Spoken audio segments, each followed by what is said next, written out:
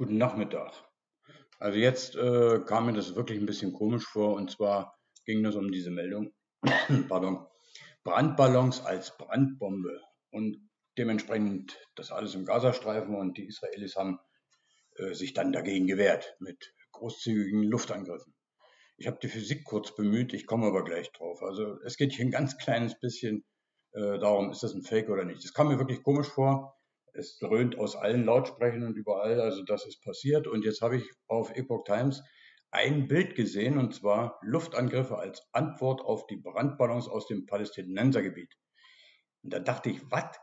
An so einen Luftballon wollen die äh, Brandbomben anhängen? Vielleicht noch solche Granaten hier?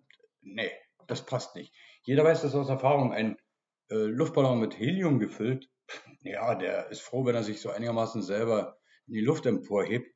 Und ja, man könnte zwei zusammenbinden, aber dann hebt er auch nicht viel. Deswegen, das hat mir keine Ruhe gelassen. Dachte ich, guckst du mal, ob es Live-Reporte gibt. Nee, gibt's nicht.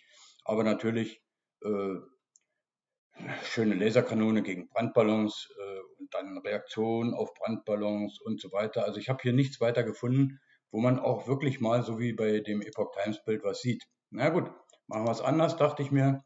Äh, guckst du mal auf Google Bilder. Ja, und da Nee, selbst mit solchen kleinen Ballons, da ist nichts zu wollen. Wollen die uns veralbern, dachte ich mir dann. Hier, ne, ein, zwei Ballons. Aber hier, das wird schon interessanter.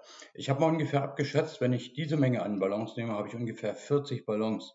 Ja, kann man ja auszählen, dass man sagt 1, 2, 3, 4 und das Ganze so vielleicht 8 bis 10 Mal, dann hätte ich 40 Ballons. Was heben die? Es geht um den sogenannten statischen Auftrieb, archimedische Prinzip.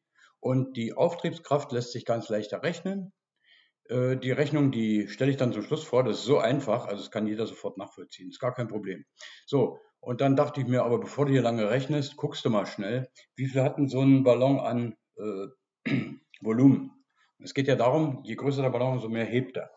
Ja, und da kamen dann solche Sachen wie, äh, hat 2,5 Liter, das habe ich dann nochmal kurz nachgerechnet, ja, das funktioniert. Ungefähr zweieinhalb Liter. Und dann gibt es die Ballongrößen, also die entsprechend dann Gasbedarf beziehungsweise ein Volumen haben mit 0,012 Kubikmeter ne, bei so einem Ballon. Hier ist es auch nicht viel mehr und die haben eine Tragkraft von 2 Gramm. Der ist ein bisschen größer, dafür hat er aber auch Material. Er hat aber nicht unbedingt viel größer, guck mal, 28 bis 30 Zentimeter Durchmesser. Das ist nicht viel mehr Volumen.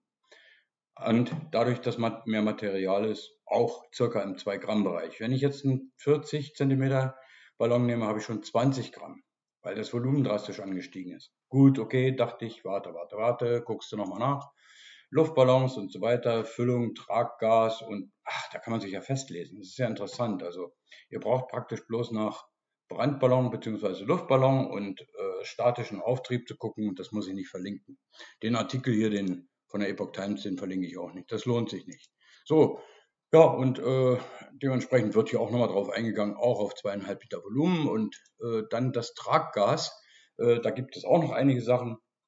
Wir rechnen auf jeden Fall mit der Dichte von Luft. Ich zeige es ja dann gleich.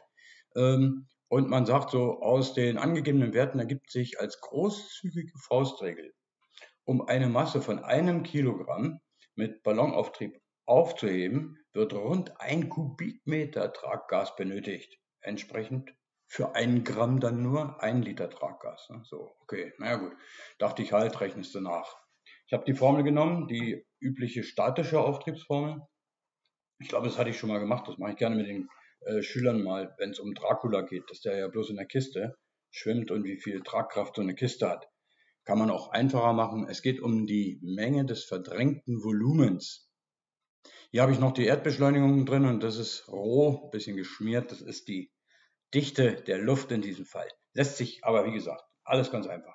Ich schreibe die Formel hin, ich setze ein für Roh 1,29 Kilogramm pro Kubikmeter, das habe ich als Standard äh, Atmosphäre angenommen.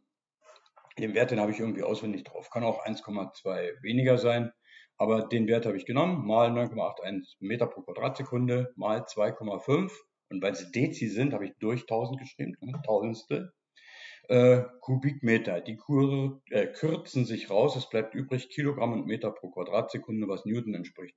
Ich weiß nicht, ob ich dann hier oben nochmal einen Link mache, äh, einen Link, damit man sieht, wie leicht man mit Maßeinheiten umgehen kann. Könnt ihr ja mal gucken. So, das diese Werte jetzt in den Taschenrechner eingetippt, dieses 1,29 mal 9,18 mal 2,5 durch 1000 ergibt 0,03 Newton. Ja, weil Kilogramm und Meter pro Quadratsekunde bleibt als Einheit übrig, ist Newton. 0,03 Newton entspricht grob genährt 0,003 Kilogramm, äh, was zu heben ist an Luft. Ich wurde gerade unterbrochen, also das sind dann ja, 0,03 Newton entspricht 0,003 Kilogramm, also 3 Gramm. Naja, dann kommen wir ja ganz gut hin hier mit diesen Auftriebswerten und mit diesen ähm, Tragkraftwerten bei Helium. Bei Wasserstoff ist es nicht viel, viel, viel besser. Also könnte man sagen, also das im Komma-Bereich, das lohnt sich gar nicht drüber zu reden. Gut, so, jetzt fassen wir mal zusammen. Das heißt also, wenn ich 40 Ballons habe und idealerweise 3 Gramm, 40 mal 3 sind 120 Gramm, dann könnte ich, Moment, dann könnte ich, ne, 40 Ballons, 120 Gramm ein Päckchen mit irgendwas Brennbarem daran basteln. Das stimmt. Äh, wenn ich jetzt allerdings nur die 40 äh, Ballons nehme und genau 120 Gramm damit hebe und das Päckchen genau 120 Gramm sind, dann erhebt sich der Ballon noch nicht. Ich muss also ein kleines bisschen weniger Masse nehmen oder einen Ballon mehr, damit sich das Ding ganz langsam erhebt und dahin fliegt, wo es hin soll. Ja, hier sehen wir noch so ein Ge äh, Gemälde. Da haben die das dann fliegen lassen. Bloß hier fehlt mir nur wieder äh, der Brandsatz. Also ich weiß nicht. Irgendwie kommt es mir komisch vor, vor allem, dass dann gleich äh, mit Raketen und Bomben und Ähnlichem äh, zurückgeschossen wird. Ich sehe das nicht gerade als Spaß an, aber pff, weiß auch nicht. Ist mir ein bisschen doll. Gut, haben die ganze Sache physikalisch untersucht, stark gerundet im Überblick, aber das mag jetzt mal genügen. Ich wünsche euch einen kühlen Tag, wenn das geht. Bis zum nächsten Video. Macht's gut. Tschüss.